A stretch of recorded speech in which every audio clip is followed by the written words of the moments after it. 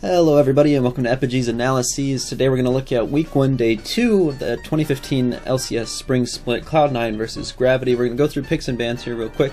I'm going to talk about um, different team comp advantages, stuff like that. Uh, why people banned, what they did here. Um, we see the first ban, I have it paused right now, we see the first ban coming out here with J4 from Cloud9.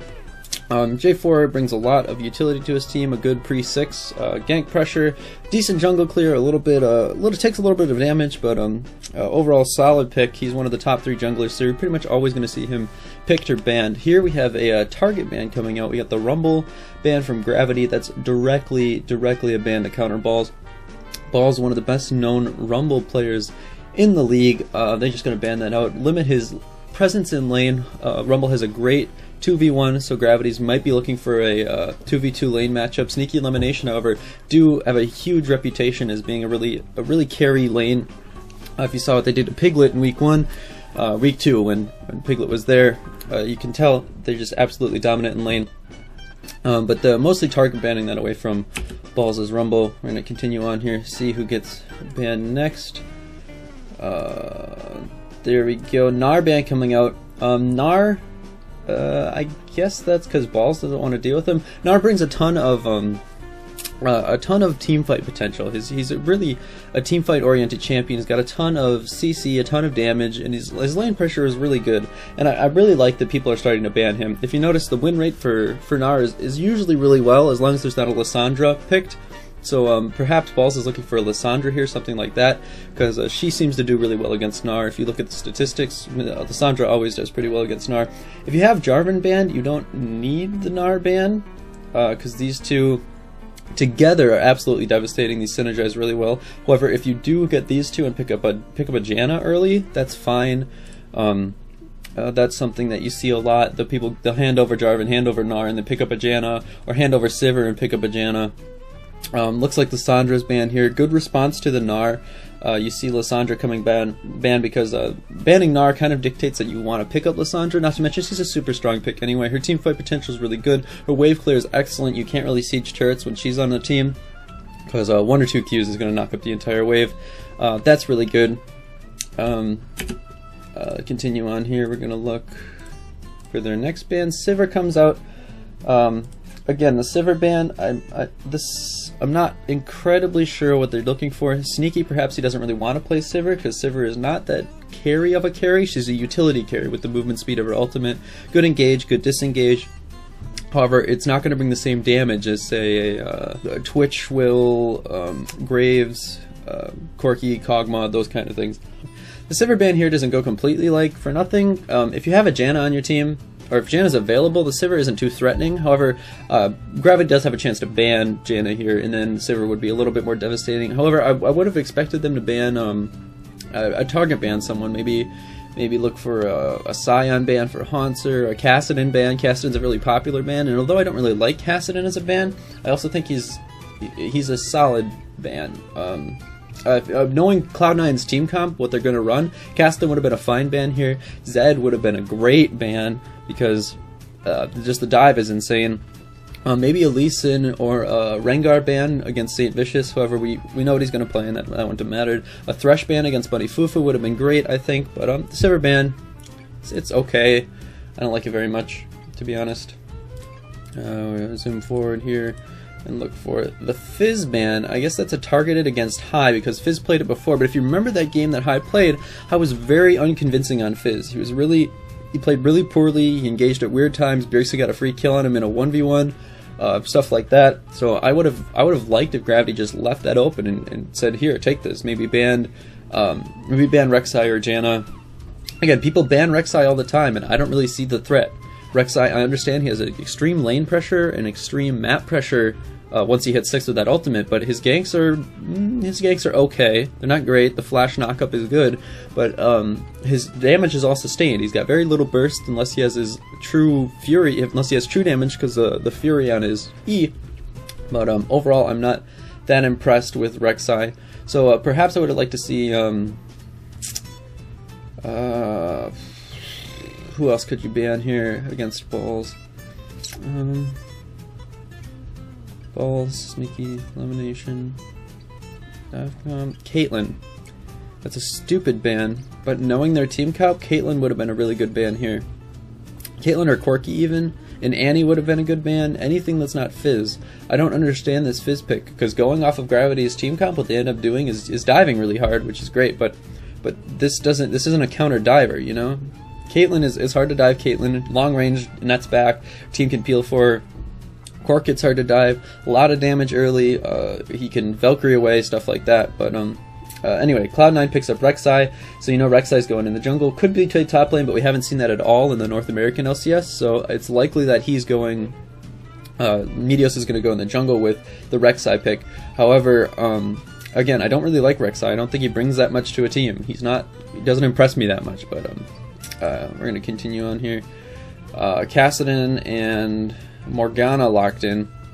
Leaving the Kassadin up is a little bit bold, but I like that they did that. I don't think Kassadin if Kassadin's ahead, he doesn't really he doesn't pack damage. All he is is mobile and annoying. He does a little bit of poke. He jumps in, but he's not that tanky. He's a little bit tanky with Zhonya's, but he's I don't know. He's like a medium champion. He does medium damage, is medium tank with extreme mobility. That's that's all he is. He's like if you get a Giant's belt on Fizz.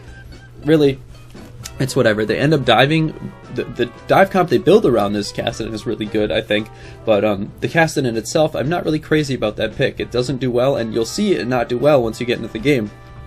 Um, especially in the 2v1. Kassadin's saying, please 2v1 me because I suck at 2v1s. I can Q something every 9 seconds, but I can't actually move up at all because if I get CC and I'm instantly dead before I'm level 6. Uh, we're going to continue on here. Meteos and Hai looking to pick up... Uh, Alright, so they do grab the Janna. Uh, with the Sivir ban and the Janna pickup, I don't, again, I don't like the Sivir ban. Janna, they have Janna on their team now, which means Sivir disengage is not that threatening. Sivir disengage is a little bit threatening, but then you have uh, Sion right here to chase him down. So what does Sivir actually, what does the Sivir ban accomplish? Um, I don't really know. I don't know what the what the the idea of what they were looking for here, especially um, with their with their mid pick. You'll see that in a little bit. Um, Sivir's got a really strong or no, sorry, Janna has a, a, decent laning phase. She's good, but again, with the Kassadin pick, they're looking for the 1v2. Janna is much weaker in a, in a 2v1 because she doesn't pack the same CC as a Morgana does, as a Thresh does, something like that. So I would have liked to see Cloud9 pick up, uh, pick up Thresh. Uh, yeah, I think I would have liked to see Cloud9 pick up Thresh and then look for themselves, do the lane swap, look for the 2v1 to pressure the Kassadin out of lane. Um, uh, but I suppose they don't know. You can't know that Kassadin's going top. You can play mid too. But um, at this point, um, the Sion pick, he's, he's really decent into 2v1. He does really good. He does the Suicide on strats at level 1. And then uh, and then ends up at level 2 in the lane right away. Uh, we'll move on here. Uh, this is what they end up locking in here. Got Vi for Saintvicious and uh, Corki for Cop. Uh, Cop loves Corki. Cop's going to play the crap out of Corki. And he does okay. Uh, he gets a good first blood on Hai this game. I'm sorry, on Sion this game. Balls. But um, uh, the the thing he does really is one he's a poker, which they have no poke on their team and they won't uh, when they finish it out here, round it out with the Z pick. But um, uh, he pokes, so he does a little bit of damage, but he can also take care of himself. He's not the longest range champion, but he's long enough ranged, mixed in with his burst damage, that he can get his damage off and then get out of the situation he's in without needing to be babysat. Morgana's free to go in and, and ult everyone. Morgana's free to Black Shield Vi as she jumps in, or Vi to Hauntzer as he's jumping in on Kassadin. But Morgana's not stuck babysitting this guy, babysitting Corki. So Corki, uh, Caitlyn pick, like I said, that would have been a good ban there. But um, uh, Corki, Caitlyn, those picks. Who else be Graves is okay, but his uh, range is a little bit shorter. And if you're not in like melee range, his Q doesn't do the same damage. So uh, Corki ultimately packs more punch from a longer distance than Graves is going to do at a shorter distance. Um, the two divers here are, are telling are telling Cloud9 right here. You got Kassadin to dive, you got Vi to dive. So what is Cloud9 going to do in response? They want to pick someone very mobile, someone that can get out of this dive, or if they, or maybe someone tanky who can sustain this dive if they're the ones getting messed up. Because uh, uh, right now, dangerous picks would be a Kog'Maw, um, Xerath would be a super dangerous pick. Like if they locked in Xerath here, that's just saying that's that's how advertising to them. Please dive me. I want to die in these fights because you can't stop Vi, you can't stop Kassadin, and um, you're gonna see the Zed pick in a little bit, and you can't stop that either. But what does Cloud9 do? They say, I don't care about your dive at all. I'm gonna lock in Kog'Maw and Orianna. Oh man, and that's that's kind of frustrating to me because this is this is Telltale Dive right here, and um, and uh, oh, what they're trying to do is they're, they're they're it's really a disrespect thing. I think they say we don't respect this dive, we're not respecting this damage, we're not even respecting the lane pressure Vi is going to bring out. Uh, then again, they do have uh, Rek'Sai on uh, Meteos on Rek'Sai, so Vi putting out pressure early is is pretty much counteracted. They they match up fairly well, but they're saying I don't we don't care about your dive. Just go ahead and dive Kog'Maw. Go ahead and dive Orianna. Both very immobile, both very squishy, very easily doven dived, dived, I don't know, easily killed champions. They, they die really easy, but still. Uh, they lock them in anyway. Uh, the double shield is going to be really good for Kog'Maw. However, if uh, um, if either of these people get behind, Kog'Maw or Orianna get behind, they're going to be so easy to kill. And counteractively, if Vi or Kassadin get ahead, they're going to do so much damage that they're not going to be able to peel these people off. Rek'Sai's not that great a peeler. Sion's an okay peeler. He's got his ult, he's got his charge Q, but all of that is really dodgeable and really telltale. Sion really wants to be messing up the backline and zoning people out of a fight, but they're not going to get a chance to do that because he's going to be stuck peeling for these two champions this entire game. Sion's not going to be capitalized, used to his full potential. Uh, we're going to move forward here, and I already spoiled it for everyone. They do lock in Zed right here, and this is this is this is a good team comp by Gravity, in my opinion. Um, you got the dive, dive, dive, a AD carry that can fend for himself, and then follow up on your dive. If Zed jumps in, people are going to have to hit Zed. They can't hit Morgana if she walks in and ults three people. Um, if uh, Vi and Zed bow in, again, you have to hit these two champions. You can't hit Morgana. Morgana's going to be the one scooting by for free and and uh, just wrecking everyone with the AoE stun and then the AoE damage from Corki. Good follow up here. Um, and their lanes are all pretty solid. Zed lane's fine against Orianna. Sion lanes, or Kassadin lane's fine against Sion. A lot of magic damage from Sion and a magic shield from Kassadin. However, they do get the 2v1. Um, uh, Cloud9, oddly enough, doesn't opt for the 2v1. It's Gravity who opts for the opts for the lane spot, but it ends up in their advantage because um, Hai randomly dies early.